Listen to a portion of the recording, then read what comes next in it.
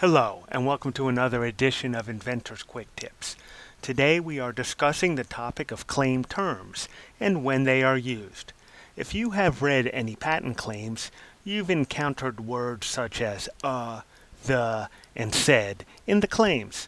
These terms have special meanings in a patent claim, and that's what we are going to review in this video. So there are words we use along with our terms in the claims. Grammatically, these are called articles. There are two main articles we'll deal with in patent claims, the first being a or an, the second being the. And if you read patent claims, you'll also encounter the word said. For our purposes, we are going to treat said as equivalent to the. So going forward in this video, we'll just be talking about the use of the words a and the in a claim.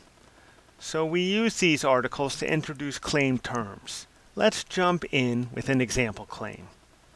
So here is a claim and it introduces and then later discusses multiple elements. And every time an element is introduced, it uses the article a or an. So it has an enclosure, a light emitting diode, a cable, and also let's highlight the other terms that are introduced. So now, circled in red, are all the introduced terms.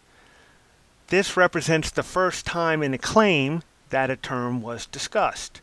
For subsequent uses of the terms, we'll use the article the. So here we have the enclosure, since the enclosure was already introduced at the beginning of that line and we'll highlight the other places where a term is used after it was introduced. There is a strong analogy with the claim articles and certain computer programming languages such as C.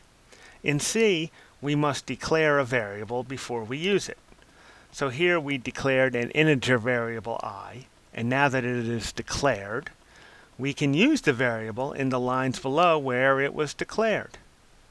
If instead we never declared it and we just try to use it, the compiler would give us an error. The claim terms work in a similar manner. So let's look at another example. Pause the video here for about 30 seconds and look at this claim. See if you spot any problems with regards to a term that was not properly introduced. Okay, so did you find it?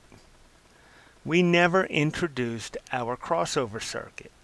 So the Patent Office would flag this as what's known as an antecedent basis error.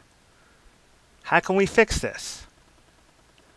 We need to use the article a when we introduce the crossover circuit.